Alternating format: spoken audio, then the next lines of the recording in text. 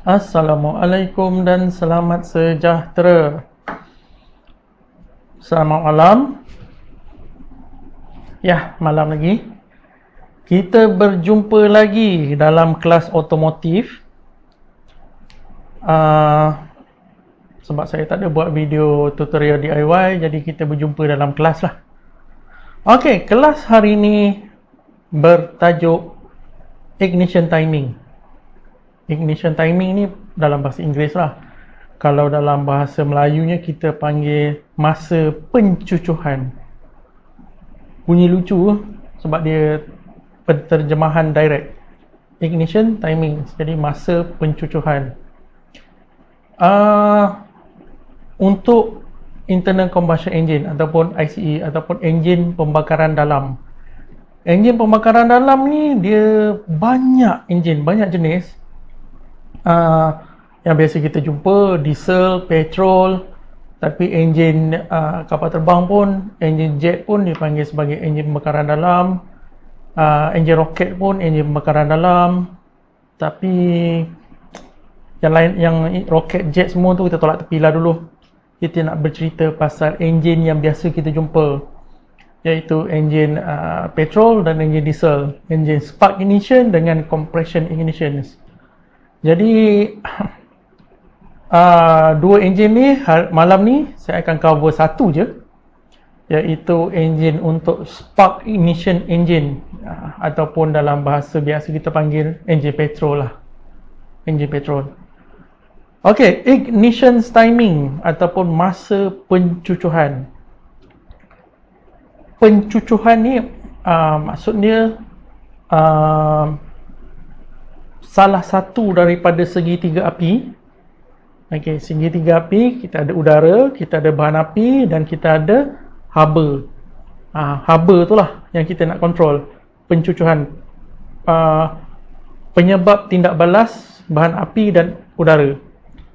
Okey jadi untuk enjin petrol pencucuhan ni dilakukan oleh spark plug Okey, ini kita panggil teknologi lama, teknologi baru yang uh, dia tiru diesel tu uh, Mazda je pakai lagi tu tolak tepi lah yang teknologi baru tu yang kita pakai yang teknologi lama dulu. Teknologi lama yang mana menggunakan spark plug. Okey, ignition timing juga dipanggil sebagai spark timing. Ialah sebab spark ni yang menjadi ignition pencucuk jadi benda yang sama nama berbeza ignition timing dengan spark timing. Spark pada spark plug. Ok timing timing dia timing ni masa. So masa dia relatif kepada apa? Ha, itu persoalan dia. Ini soalan biasa jadi pada school engineering ni. So masa dia relatif pada apa? Ignition kita dah ada. Spark pencucuk timing. Masa. Pemasa tu dia relatif dengan apa? Ok untuk umumnya untuk basic dia knowledge masa tu adalah uh, sudut ataupun uh, rotation crankshaft. Okey uh, kita lukis senang. Senang faham sikit. Jelas eh. Kita ambil ini satu crankshaft satu rotation crankshaft. Okey. Jadi masa tu kita suka dia menggunakan bukan minit bukan saat tapi menggunakan degree darjah iaitu okey kat sini kita ambil. 0 degree uh, kalau enjin tu pusing arah jam kita panggil sini eh clockwise. Okey ni 90 degree 180 degree 180 darjah 270 darjah. Okey jadi masa tu disukat menggunakan darjah. Bukan masa tu disukat menggunakan minit saat Ha, sebab dia panggil sebagai timing tapi dia bukan time, bukan masa sebenarnya. Tapi sebab bila translate ke bahasa Melayu dia jadi masa. Sedangkan dia jadi ha, sebenarnya dia timing. Timing ni per, nak translate direct ke bahasa Melayu dia jadi ayat dia jadi berbelit-belit. Okeylah kita panggil dia sebagai timing lah senang sebab dia jadi keliru masa ni. Sebab masa ni unit dia adalah minit, saat, jam. Okay, timing ni kalau unit dia untuk enjin ni adalah degree sudut. Okey dia degree sudut. Jadi jangan keliru masa punya terjemahan bahasa Melayu. Okey jadi untuk ignition timing adalah uh, waktu bila spark plug akan membakar campuran petrol dan udara di dalam silinder. Relatif kepada timing ni okey masa kedudukan crankshaft dan juga kedudukan piston. Okey, sebab piston nak nak suruh nak suruh orang kata nak suruh combustion ni jadi mestilah piston kena berada paling tinggi. Top dead center. Kalau piston berada paling bawah tak ada fungsi lah dia nak nyala. Jadi piston tu kena paling tinggi dan pada piston paling tinggi pin uh, connecting rod akan berada dekat sini. Okey. Pin connecting rod akan ada sini. Connecting rod akan ada kat sini.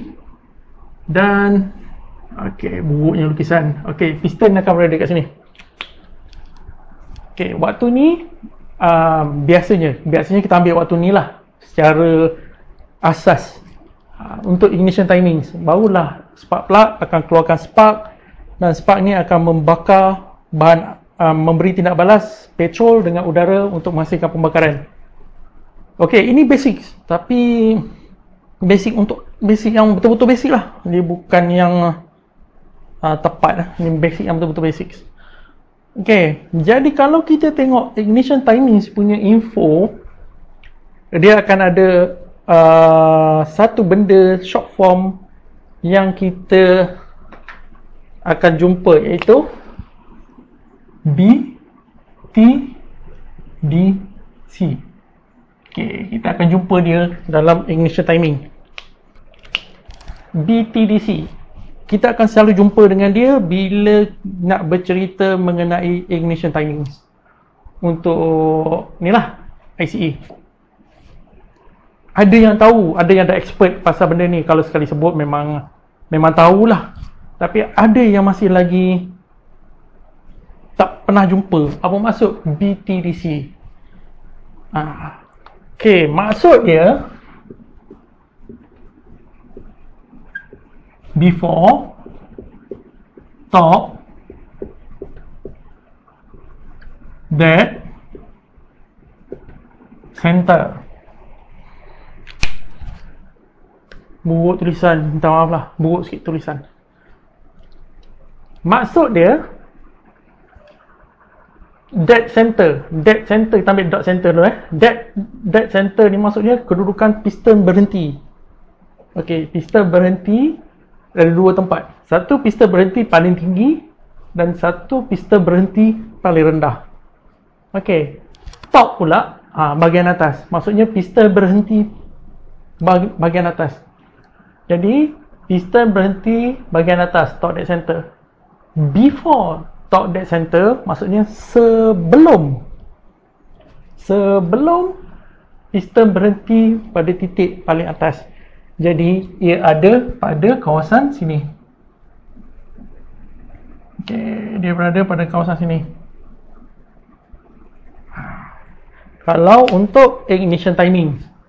Okey kita cerita ignition timing lah jangan cam timing lagi. Cam timing dia ada empat. Yang tu kemudian Kemudian kita cerita pasal ignition timing dulu. BTDC satu je dia libatkan. okay. Before top dead center. Kenapa dia berkait dengan ignition timing? Ah. Kebanyakan info ataupun uh, data asas asas ignition timings ataupun asas dalam penerangan pasal engines dia orang akan cakap supaya mudah faham spark plug akan nyala ignition akan terjadi apabila piston berada pada top dead center. Maksudnya uh, pada kedudukan piston paling tinggi. Ok itu dia bagi secara asas. Tapi secara amalinya atau praktikalnya ataupun apa yang jadi pada enjin tidak. Ok sebab itu BTDC main peranan. Sebenarnya ignition timing berlaku sebelum piston berada pada top dead center. Sebelum, itu kenapa kita ada before. Jadi ignition timing berlaku hmm, tak jumpa. Dalam kawasan ini. Sebelum top dead center. Okey. Berapa banyak? Berapa berapa orang kata berapa degree? Itulah kita panggil dia sebagai timing dia. Ignition timing. Setengah kereta berbeza dengan kereta-kereta lain ataupun setengah enjin lah. Enjin dia ada berbagai-bagai konfigurasi ya. Jadi dia ada berbeza-beza spek, dia ada berbeza-beza uh, design. Jadi ignition timing dia berbeza-beza. Tapi biasanya beza tu tak banyak, sikit saja. Beza dia sikit. Kebiasaan dia ignition timings ni dia dia tak orang kata tak banyak beza dia, beza sikit saja iaitu biasanya dia akan berada pada uh, lebih kurang kita ambil lah lebih kurang 10 darjah ok lain kereta lain. Tapi beza dia tak banyak. Mungkin uh, 8 ada yang 8 ada yang 7 ada yang 10 ada yang 11 ada yang 12 jadi kita ambil purata. Kebanyakan kereta adalah pada 10 degree. Sebelum top dead center waktu itu spark plug akan keluarkan spark dan mula membakar petrol dan udara. Ok jadi uh, 10 degree sebelum top dead center ni maksudnya piston tengah naik lagi.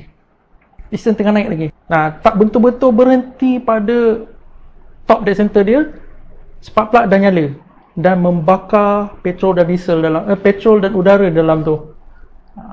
Lepas tu bila dah terbakar Barulah Tenaga keupayaan dan tenaga haba tu akan menolak piston Untuk turun ke bawah Untuk hasilkan rotation pada crankshaft. Okay Kenapa Ignition timings Sebelum top dead center ha, Itu soalan Yang agak Famous Untuk budak-budak engineering otomotif Okay, masa dekat school dulu, budak-budak baru, SEM 1, SEM 2, otomotif, soalan ni akan selalu wujud. Kenapa? Ignition timing sebelum top dead center. Kenapa tak buat selepas? Sedangkan selepas pun enjin hidup juga. Kalau dia buat 10 degree selepas, enjin tak hidup. Tak ada masalah. Kalau tak buat tengah-tengah, tepat-tepat pada top dead center. Ha, padahal pada tempat-tempat top dead center ni adalah compression ratio paling tinggi combustion paling bagus kenapa dia ambil 10 degree sebelum tak ada center alright ini kita kena tengok ok saya padam ini kita ambil gambar aja combustion chamber senang ok combustion chamber kita akan ada cylinder head lah cylinder head akan ada dome ok Lepas tu kita akan ada cinder block. Kat sini cinder block. Kita akan ada valve intake kat sini lah. Kat telah sini valve intake lah. Okay, intake. Exhaust. Valve exhaust. Alright. Kalau kita tengok secara mata kasar, kita tengok secara mata kasar, apabila crankshaft berada hampir top dead center hampir 10 degree sebelum top dead center piston tu dah bergerak agak sedikit ah dia susah nak cerita. Ah kena lukis juga. Okey okey jom jom jom. Kita nampak eh. Okey crankshaft lagi sekali. Okey. Connecting rod eh. Kita tulis sekali lukis kali ni kita lukis kat bawah. Okey connecting rod. Uh, piston. Okay, pin.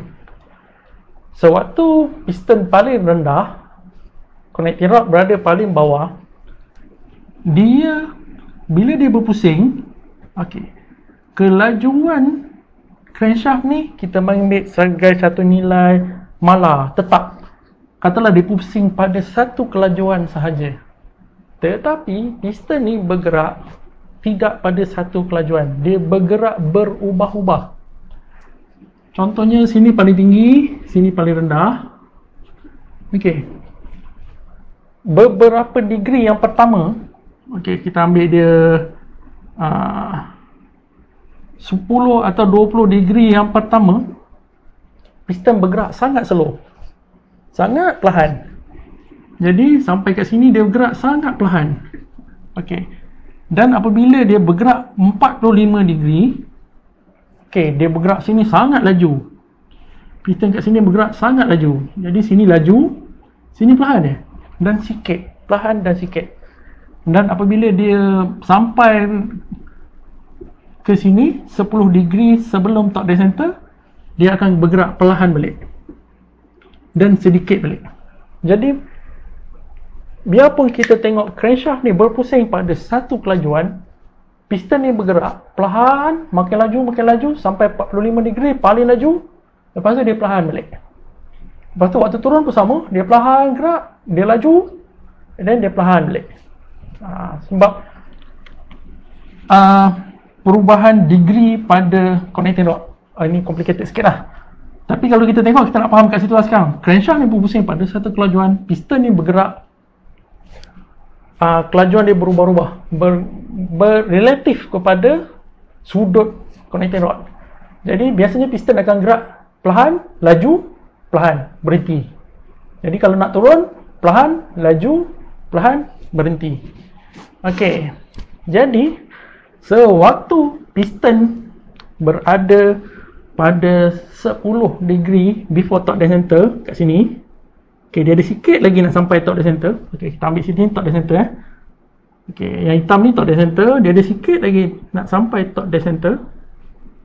Okay. So, waktu ni piston dah nak berhenti. Dah nak berhenti. Waktu 10 degree tu, dia nak berhenti. Dia berhenti betul-betul uh, garisan hitam tu. Tapi dia dah nak berhenti. Sikit sangat dia. Nampak gambar ni besar tapi sebenarnya sangat sikit. Uh, waktu ni spark plug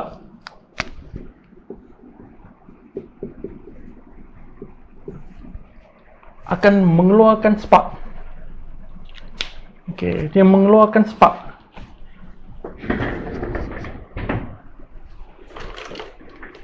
Dan merah, merah.